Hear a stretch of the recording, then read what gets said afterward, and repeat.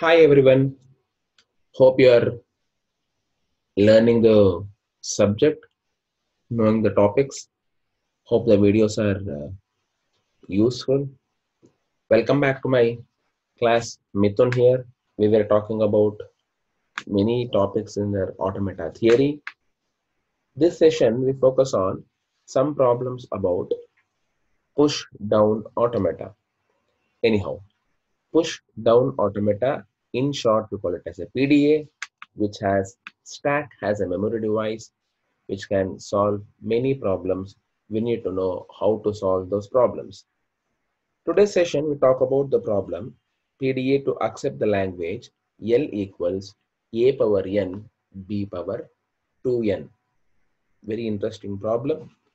We will be able to solve completely and we, we just see how to write a diagram for this and how to write an acceptance of a string.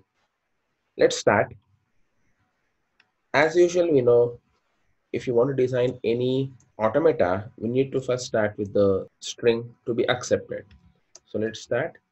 You can easily just check it out.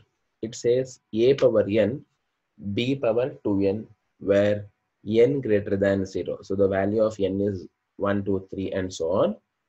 But observe always number of b's are twice the number of a's. So if I write, if I consider n as 1, then it would be a, b, b. If, I, if n is 2, it would be a, a, b, b, b, b. It goes on.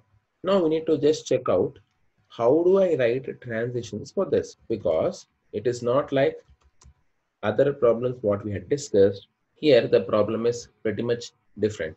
So let's start understanding the problem, then come back to the transition.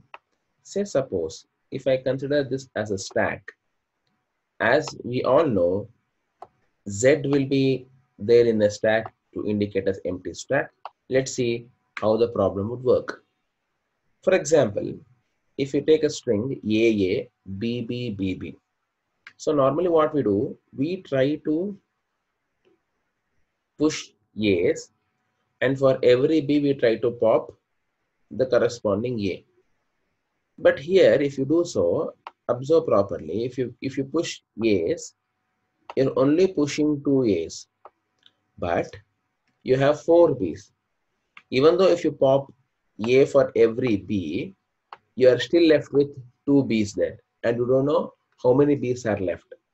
So what do we do? Rather than talking about pushing a's like this we just follow a technique.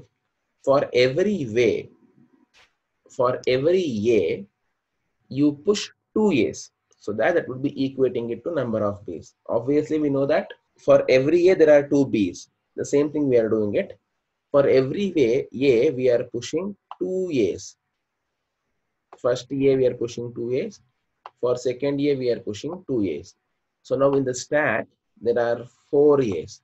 Remember it's only in stack not an input symbol. Input symbol still remains AA, BB, BB. If I consider that as an example, that means input string would remain same. For our ease of design purpose, we're just changing the content of a stack. Hence, we are just pushing two A's for every A. So that when you push all the A's, when I encounter B, I can able to get so many A's as well since you have two A's in the input string and we have pushed four A's in the onto the stack, then definitely since we have four B's in the input string, we can easily pop A's accordingly. Now this is your stack top. Then for first B, we just try to pop this A, topmost. Then top will be somewhere here. For the next B, we pop this B uh, A. Then we have uh, third B we encounter, we pop third A and at the end we have last B and we pop this. Anyhow, there are no symbols in the input string. Similarly, there are no symbols in the stack, that is empty stack. So we can just say the string is accepted. So now we need to know how do I try to write a transitions for doing this. Remember always, you can push one symbol or more than one symbol onto the stack, but we cannot pop more than one symbol. That is very much interesting. We should we need to be very cautious while solving the problem. Pop can be single symbol, but push, it might be one or more than one, depending on the requirement or the situations. Let's start with that. Anyhow, the first transition would be, let's start, it is Q naught. Say the input symbol is A and stack top is Z. That's the initial condition. What do I write? Be in the same state Q naught, push A, A onto stack. So it would be A, A, Z. You know, how do I write push transition? Because in the push transition, you need to have an existing stack top along with the new symbols what I push. Now existing stack top is Z as it is empty. We need to push 2A, so it would be AAZ. Fine. Now moving on, let's say next transition. Now the stack is having two symbols. That means if we have encountered um, first A, we would have pushed two A's there.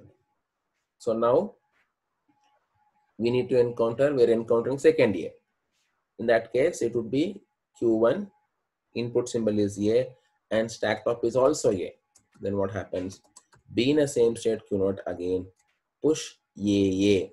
Existing A is already there. So it would be A, A, A. Hope that's clear. So these are two push transitions we need to write it. Just write it here. For every A we encounter, push two A's onto stack. Then let's go for pop transitions. Every B encountered pop corresponding A from the stack. So let's see. Now, the second transition what we have written would take care of remaining A's whatever is there observe properly. If you encounter third, fourth, fifth A's, it keeps on pushing two A's for every A what was encountered. All the A's are pushed onto the stack. Now it is pretty much simple to take care of uh, B's. Let's be in the same state. We are not change the state. Q naught with the input symbol B and stack top is A. It's pretty easy. Now we change the state we just change the state to q1 and we just try to pop. So we just say observe the transition properly in the state q0 with the input symbol b and if stack top contains a just simply change the state to q1 and replace stack top by epsilon. And you know the moment I replace with epsilon it was nothing but popping the symbol from the stack. Now the automata is in state q1 so we need to just specify the transition for that as well because we need to encounter next B in the input string. So in the state Q1, when you encounter next B and stack top would be still A, so we can say you just be in the same state Q1 and replace with epsilon, that is, you are popping the symbol. This solves the problem. So how many ever B's you encounter, obviously you'll have so many ever A's in the stack. So you just keep popping A's accordingly. So then it comes to an end. We may encounter Q1. This would be the last transition in the state Q1. If there are no more input symbol to be scanned and stack top is there, then obviously we can say it's completed, it's accepted, shift the state to or change the state to Q2 and and then replace it with Z itself. So stack top would remain same. Hope that's clear. Now let's start uh, drawing it.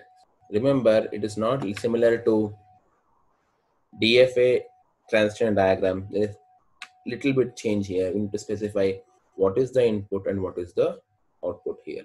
Sorry, I have made a mistake. This is Q naught itself because we are not changed the state there. Coming back to the diagram. In the state Q naught, if you encounter A and stack top is Z, we are just pushing.